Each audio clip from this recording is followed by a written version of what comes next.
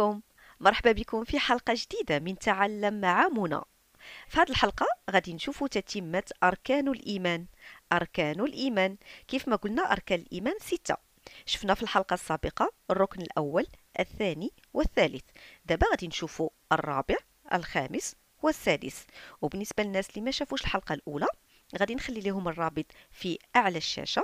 غير يضغطوا عليه غادي يمشيو مباشرة للحلقة الأولى للأركان الثلاثة الأولى. فنبقاو جميع مع أركان الإيمان. الركن الرابع من أركان الإيمان هو الإيمان بالرسل. الإيمان بالرسل. يعني كيف ما العادة واخا ما شفناهمش واخا ما عشناش في الحقبة ديالهم ولكن كنآمنوا بوجود الرسل. الإيمان بالرسل بالرسل. غنكتبوا بالرسل. عندنا حرف الباء. عنده كسرة. بي بالرسل. غنديروا الألف. وغادي نديروا اللام ولكن ما غنطقوهمش بجوجهم. بي غنكتبوا الألف ونكتبوا اللام ولكن غادي نطقوا مباشرة حرف الراء. بالرو. الرو عندها ضمة وشدة. سو حرف السين. بالرسو السين عندها أيضا ضمة. بالرسل حرف اللام في آخر الكلمة. ونديرو ليه كسرة. بالرسل بالرسل الإيمان بالرسل الإيمان بالرسل الإيمان بالرسل الإيمان بالرسل. هذا هو رابع ركن من أركان الإيمان. دابا نبقاو مع الركن الخامس.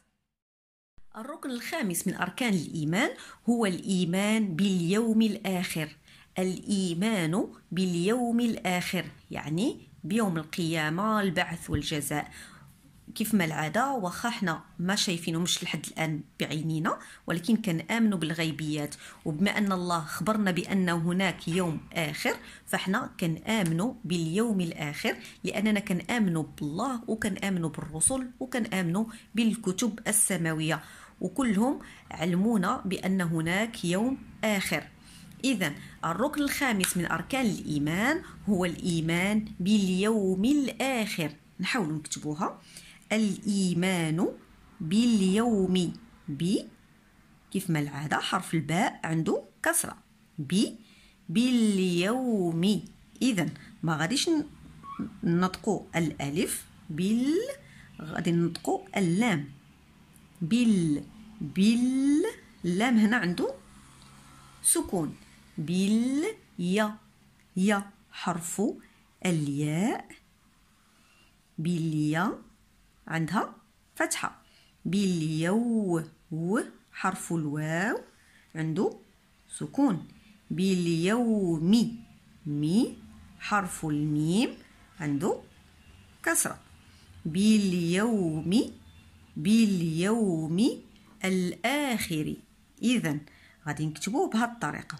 غنديروا الألف ونديروا ليه هذه الحركة لأننا غادي نشاركوا النطق باليوم الآخر. عندنا اللام. اللام غنطقوها. باليوم الآخر. هنا عندنا الألف وغنديروا ليه هاد الحركة لأننا غنطولوه. الألف ممدود. الآ الآخري خي حرف الخاء حرف الخاء عندها كسرة. الآخي ري حرف الراء. هنا واخا شوية مضايقة. هنا حرف الراء. باليوم الآخر الراء عنده كسرة. اذا الآخر الآخر. الإيمان باليوم الآخر.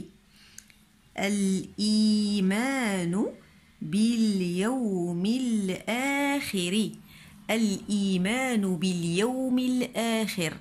الإيمان باليوم الآخر. هذا خامس ركن من أركان الإيمان. فنبقاو مع سادس ركن. سادس ركن من أركان الإيمان هو الإيمان بالقدر. الإيمان بالقدر. يعني أي حاجة مقدرها علينا سيدي ربي كنآمنوا بأنها من عند الله. الإيمان بالقدر خيره وشره. كيف ما كان الحال خصنا نرضوا به ونآمنوا به. الإيمان بالقدر بالقدر. غادي نديرو حرف الباء عندها كسرة. بي بال عندنا الألف. وما غاديش ننطقوه غادي نزيدو اللام. وغادي نديرو ليه سكون. لأننا قلنا بال بال بالق حرف القاف. بالق حرف القاف هنا عنده فتحة. بالق د دال. بالقد بالقدر. حرف الدال بالقد بالقادر. ري حرف الراء عنده كسرة. بالقدر بالقدر. الإيمان بالقدر. الإيمان بالقدر وقلنا خيره وشره. خيره غادي نديرو حرف الخاء ونديرو ليه فتحة. خ خي حرف الياء. خي حرف الياء عنده سكون.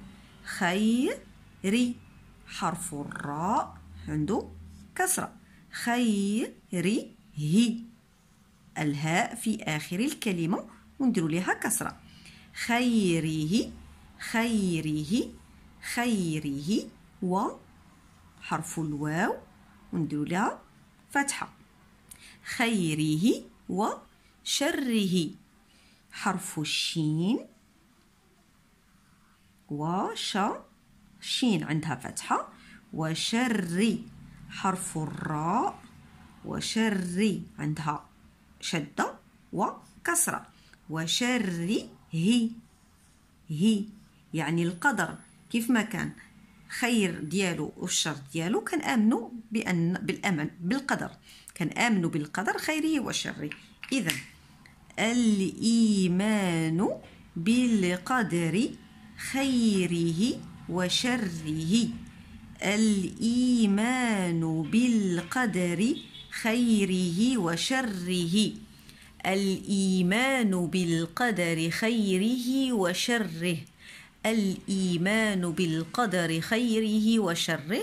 وهذا هو سادس ركن من أركان الإيمان. فابقوا مع الخلاصة.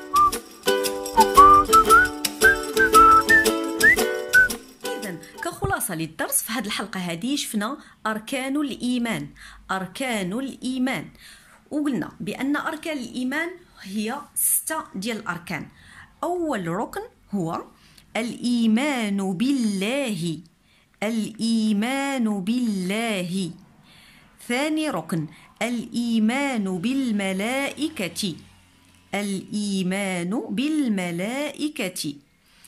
ثالث ركن هو الإيمان بالكتب السماوية. الإيمان بالكتب السماوية. رابع ركن هو الإيمان بالرسل. الإيمان بالرسل. خامس ركن الإيمان باليوم الآخر. الإيمان باليوم الآخر. سادس ركن الإيمان بالقدر خيره وشره. الإيمان بالقدر خيره وشره. نعود جميع. أركان الإيمان ستة. أولا الإيمان بالله. ثانيا الإيمان بالملائكة. ثالثا الإيمان بالكتب السماوية. رابعا الإيمان بالرسل. خامسا الإيمان باليوم الآخر. سادسا الإيمان بالقدر خيره وشره. فكنتمنى أن الحلقة تنال الإعجاب ديالكم تعاودوها بزاف ديال المرات حتى نحفظوا مزيان أركان الإيمان. نحفظوهم ونتعلموا نكتبوا أركان الإيمان. فكنتمنى أن الحلقاتنا الإعجاب ديالكم وأنكم تشاهدوها بزاف ديال المرات. وكيف ما العادة إلى عجبتكم فما تبخلوش علينا بالتعاليق وبالإعجاب بطبيعة الحال. شكرا لكم بزاف وإلى اللقاء في الحلقة المقبلة إن شاء الله. سلامة.